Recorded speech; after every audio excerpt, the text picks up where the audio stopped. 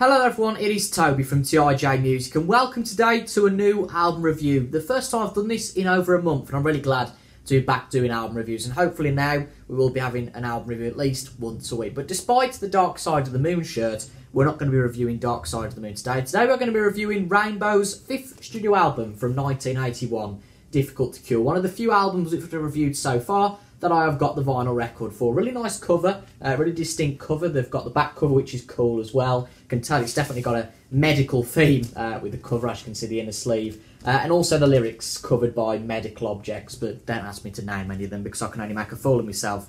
I'll stick to talking about music. Now, the album was out in, I mean, I know I'm covering my face here, but the album was brought out in 1981, the 3rd of February 1981, released on the Polydor label like every album that Rainbow released uh, around the world anyway since Rising. They released Ritchie Blackmore's Rainbow on, I forget what label it is now in the UK. I think it was Oyster in the UK, and possibly uh, Rising might have been released on Oyster in the UK, but certainly the rest of the world and uh, the UK by this point had uh, seen Difficult to Cure. And the album before it, Down to Earth, rock, uh, Long Live Rock and Roll, and I think on stage, the live album.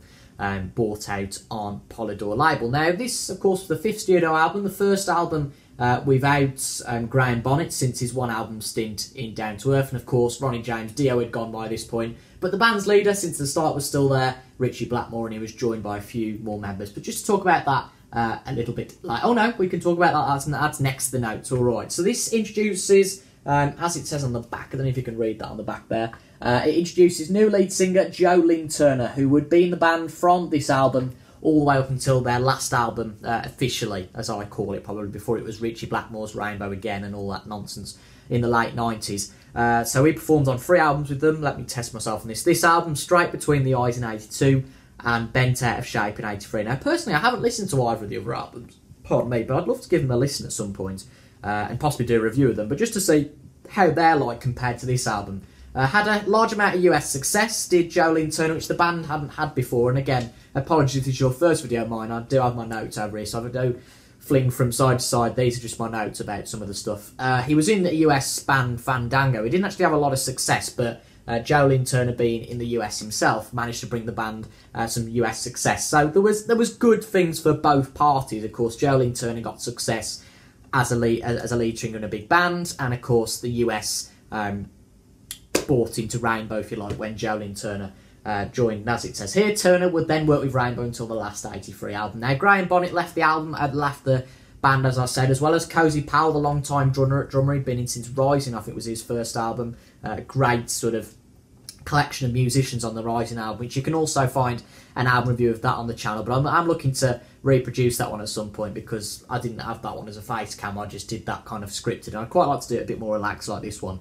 But Cozy Powell, Graham Bonnet left basically didn't like the material. Now, Cozy Powell definitely left because he thought the material was too poppy.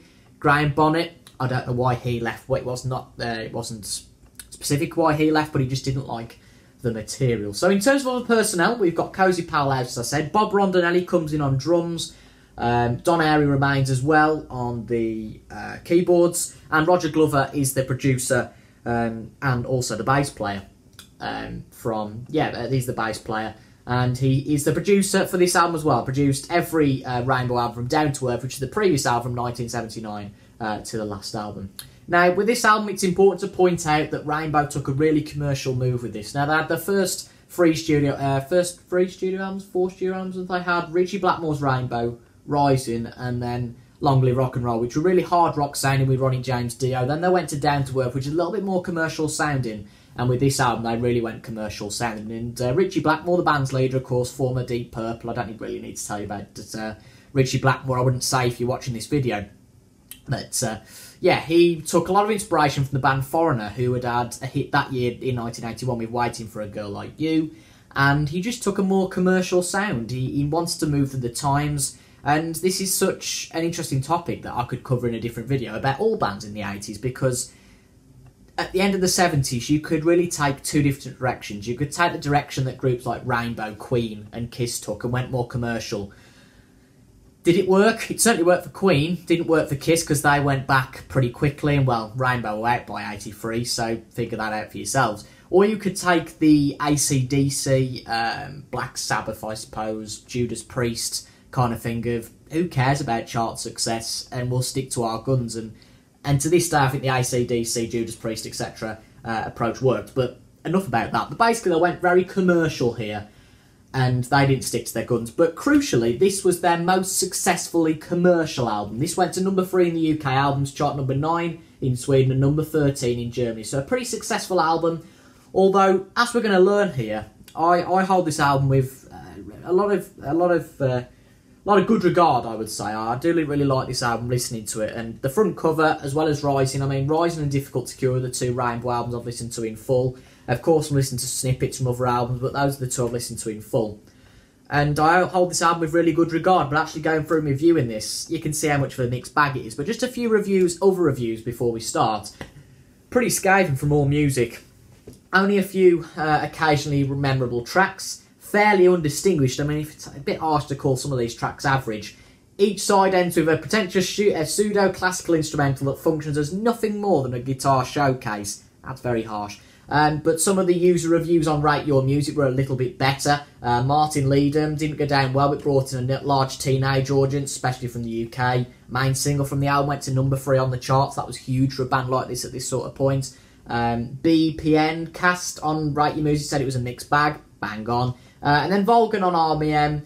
The 80s were always going to be more commercial, so who cares? And I think that's kind of the the uh, the approach I take to this. But there are definitely a few duds on this album, so we might as well get on with it uh, and talk about the nine tracks that make up the Difficult to Cure album. So let's get this open. I'll just quickly show you the vinyl record. This is an original vinyl uh, from '81. That is side one. Side two, uh, side two's faded a little bit. That uh, looks a little bit better. Side one, I always find. Side two has faded a little bit uh, more now. I do admit I haven't listened to this on vinyl. I've listened to it on CD.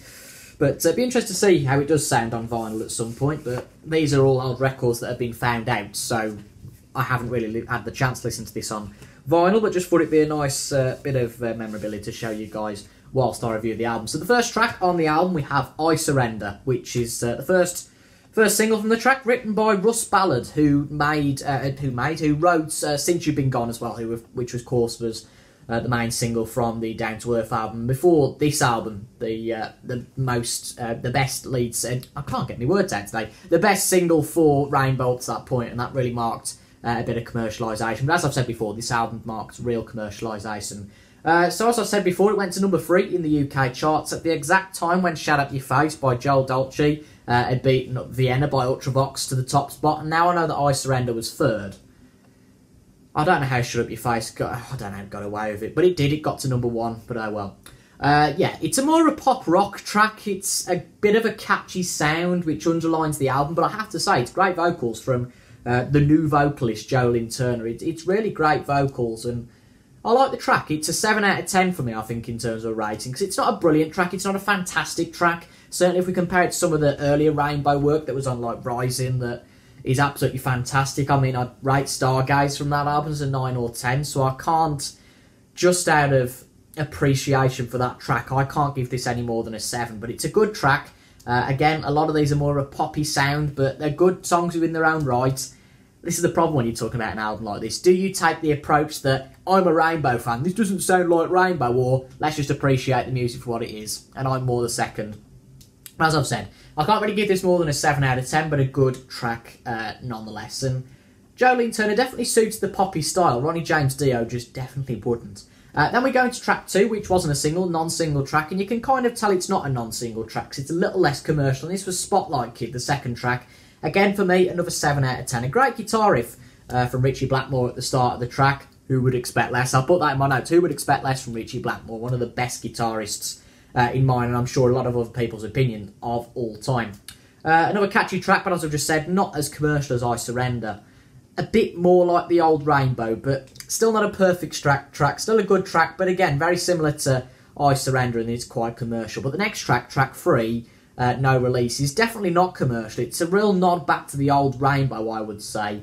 Uh, a flashback back to the old sound, and for me, I don't know if this is the same for anybody else who's listened to this album, but no release it doesn't sound like the same vocal I've heard on track one and two. I know it's Joe Lynn Turner, but the vocals just sound a little bit different. I don't know if it's the sound of the song, whether it's the tone, whether it's a little bit lower, I'm not sure. Um, but this is an 8 out of 10 for me. A, a bit of a better track. Uh, it's still a little bit commercial with that whole backing track, can't get no release and all that. eh. But some of it adds to it, like the uh, the bit in the middle of the track where it builds up, can't get no, can't get no, can't get no release. That's a bit of an 80s thing, but it adds to the it adds to the music. So while some of the 80s production values take things down a little bit, some things definitely do increase uh, the value of this record. Definitely with uh, tracks like No Release. Uh, great beat from Ritchie Blackmore. He's known for that, and uh, a great track. And contrary to what the music all music review said, certainly not easy forgettable. I've just remembered that I will probably tell you who's written all these tracks uh, as I go through them. I told you Russ Ballard wrote the first one. Uh, Blackmore and Glover, so main player, of course, main guitar player and bass player, Glover, Glover uh, wrote Spotlight Kid, and then Blackmore, Glover, and Airey um, wrote the third track. Fourth track, you can definitely tell this is commercialised. It's Magic, the second single from the album, uh, the single that was released in Japan only, and didn't really do that fantastic, to be honest. It was obvious, obviously a commercial sounding track and a, a decent pop track, but nothing more, hence why this has to be a 6 out of 10 at most. The lyrics are pretty meaningless and they just make a bit of a mockery of the rainbow name. I mean, let's just have a look at the lyrics. Some of the lyrics, like, I know who you are and there's magic in you. It's not great, is it? But it's a decent track. This one written by Moran, who I don't know who that is. I should have really researched that. That's the only thing I didn't research. Should have a look at that. But uh, no, someone outside the band wrote this and clearly hadn't got the songwriting ability that the other guys in the band had because it's a decent song. It would go in my 80s pop playlist quite easily, yeah, of those kind of songs. But does it fit on a Rainbow album? No. So it's a decent track, but I can't give it above a six. And then we end side one, and for those of you who haven't listened to the album, you might get a bit confused by the comment that came out earlier about the pseudo classical instrumentals that function no more uh, than a guitar showcase. Now, of course, on each oh, well, on a record, there are two sides. So the A side finished with Vielleicht das nächste Zeit, or easier for me, uh, maybe next time. But the 1981 LP, which this is, um, was a mistranslation from the German. This says, as I've just read out, Vielleicht whatever, whatever, whatever. Um, and the corrected version uh, is Vielleicht beam Nachten Mal. I think I'll just put maybe next time on the on the picture up there, make it a bit easier for me. But unbelievably, uh, the later release still had multiple spelling errors. I mean, just just call it maybe next time for goodness sake. Uh, this is the B side to I Surrender, and it's not much cop. Uh, it, it isn't much cop. It's not like the the last track on the B side, which you'll hear me talk about in a minute. In my opinion, it's not much cop. It's easily forgettable on the album, I can skip it pretty easily. It's a 5 out of 10 because it's decent. It's a decent track, but really nothing more than that. Uh, so then we get into the second side of the album with the third and final single, uh, "Can't Happen Here Again," much like, like much like there, there, there, much like Spotlight Kid, written uh, co-written by Ritchie Blackmore and Roger Glover. "Can't Happen Here," and this is a decent track. Uh, a B-side was "Jealous Lover," which is a non-album track, and this wasn't uh, "Jealous Lover" wasn't recorded by the time the album came out. That was recorded in sort of June time. I presume it was anyway, because Can't Happen Here came out as a single in June and got to number 20 in the UK charts, which, considering the 80s scene, was pretty impressive, really, for a, uh, a decent single. A little bit better than the commercial sounding Magic, but it's got similar traits to that track, so it's not enough to quite get a 7 from me. Maybe a 6.5, but I'll give it a 6 nonetheless. It's uh, still a little bit poppy, uh, but a little bit better and a little bit deeper lyrically, because it's a little bit more of a, of a politically. Um, charged track with stuff like uh, satellite spying for the CIA, the KGB, and the Man in Grey. Wonder if I'm going to see another day somewhere in the future. It's certainly thought provoking, even nearly 40 years later now in uh, 2019. And maybe if you are watching this, could be 40 years later. Who knows? Maybe even 50 years. That's a scary thought. But uh, yeah, still a six, and it's still got that kind of 80s sound, but still a decent track. It, it gets a six from me. And then we go to the ultimate track, the last track that's got lyrics in, uh, and this is Midtown, Midtown Tunnel Vision, co-written by Blackmore, Glover, and Turner. Now, out of all the tracks on the album, this was the one I looked at before doing this review and thought I haven't heard that one that much, so I'll give it a listen. And I wasn't really that impressed. I'll give it a five. Uh, it seems a lot of other reviewers have said the same. I don't like to copy what other reviewers say because, in the end of the day, it's my opinion you've come here for, not somebody else who's reviewed the album in the past. But they seem to think that freedom for oh no, sorry. Let's uh, let's let's go back a little bit. it's not Midtown Tunnel Vision next. We've completely skipped Freedom Fighter, which other reviewers have called Freedom Fighter and uh, Midtown Tunnel Vision. Of course, both of these tracks forgettable, and that's what triggered me back with that Freedom Fighter. Don't go ahead of yourself too quick, Toby. Uh, Freedom Fighter, much like Midtown Tunnel Vision, then co-written by Blackmore, Glover, and Turner. This is a great track, actually. It's a B-side to Magic. Should probably be in the A-side because Magic's just not as good as this track. It's a 7 out of 10 for me. Uh, it's a bit more politically motivated, again, with some of the lyrics, a little bit like Can't Happen Here. Uh, hide behind your politics, hide behind your rules. Tell me I'm a man, but you treat me like a fool. It's the same old story with the same uh, with a different name. You give us all a number, and nothing changes. Again, bit thought provoking and, uh, and good lyrics, really.